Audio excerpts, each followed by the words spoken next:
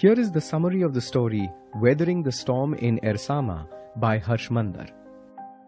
On 27th of October 1999, Prashant was visiting his friend in Ersama, a small town in coastal Odisha.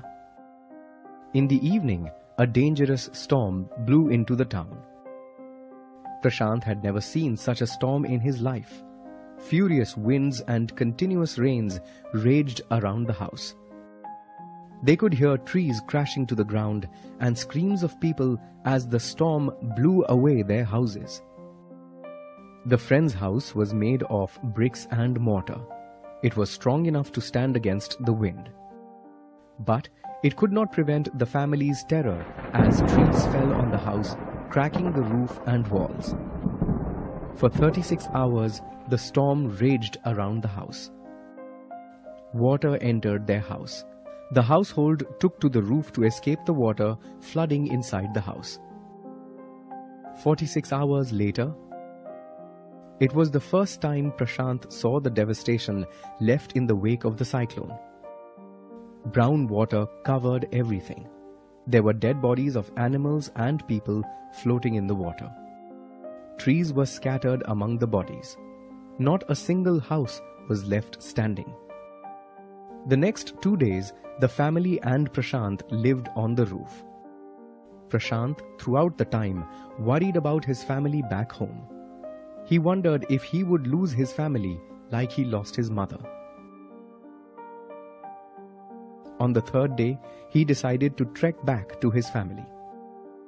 The town was still flooded, and his friend's family warned him that it would be dangerous. But Prashant was determined. It was long and difficult journey for Prashant. He used a stick to find his path. As he walked further, he had a first-hand experience of the devastation that he had earlier seen on the roof. He was disturbed by the bodies he had to push aside as he made his way through the water. These sights also made him feel helpless. He was sure his family had met the same fate as the bodies in the water. When he reached his village Kalikuda, Prashant was terrified to find his house destroyed. There was no one in sight. He decided to go to the nearby Red Cross shelter to search for them. As he entered the shelter, he saw his maternal grandmother. His grandmother rushed to him crying.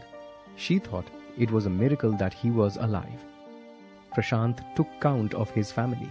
He felt grateful they were all alive. The next day, Prashant took stock of the situation in his village. Lives and homes had been lost. There was very little food left.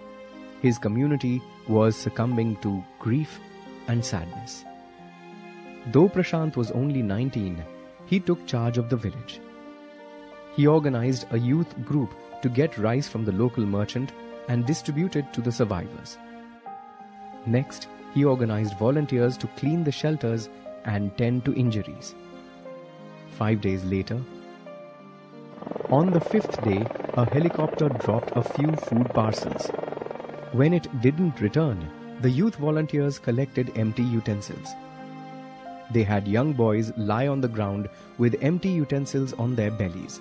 This message got through to the helicopters and relief came frequently thereafter.